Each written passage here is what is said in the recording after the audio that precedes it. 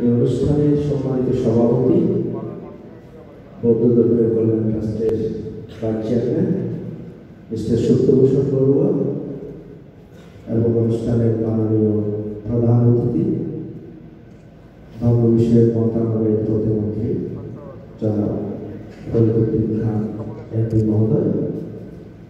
বিশেষ অতিথিদের মধ্যে এখানে উপস্থিত আছেন আমাদের অত্যন্ত কাছে জনাব মনোরঞ্জন সিং গোপাল এমপি মহোদয় এবং এরবাদত্ত এমপি মহোদয় এবং ধর্মসচিব সহ যারা বিশেষ অতিথি আলোচকবৃন্দ আছেন এবং দর্শকবৃন্দ আছেন, আমি আপনাদের সকলকে বাংলাদেশ পুলিশ ফেডারেশনের পক্ষ থেকে আন্তরিক শুভেচ্ছা ধন্যবাদ জানাচ্ছি।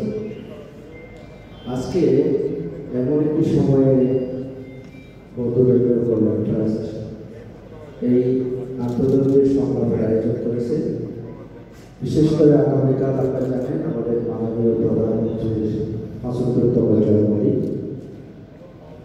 আমরা বাংলাদেশ পুলিশ ফেডারেশন আগামীকাল সন্ধ্যা ছটায় একটা বিশেষ প্রার্থনার আয়োজন করেছি। কমপক্ষে হলে দুশো জন অংশগ্রহণ করবেন আশা করছি। এবং আঠাশ তারিখের পরে উনত্রিশে সেপ্টেম্বর।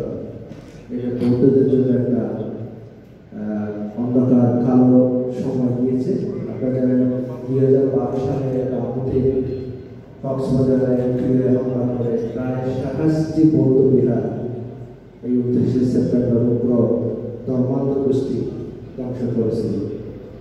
সেই প্রেক্ষাপটে আজকের এই সংলাপটি ধর্মীয় কল্যাণ ট্রাস্ট আয়োজন করেছেন এটা যথার্থ হয়েছে এখানে বক্তব্য নেই আপনারা জানেন দু ঘণ্টার উপরে মানুষের জুটি হয় তাছাড়া আমরা প্রধানমন্ত্রীর গুরুত্বপূর্ণ বক্তব্য শুনব এবং মনোরঞ্জন সিং গোপাল যিনি এখানে বিশেষ হিসেবে তিনি অত্যন্ত ভালো বক্তব্য রাখেন আমাদের বিজিত আছে আমি আমার বক্তব্য না দিয়ে সকলকে আমার সংগঠনের পক্ষ থেকে শুভেচ্ছা জানিয়ে আমার বক্তব্য শেষ করছি।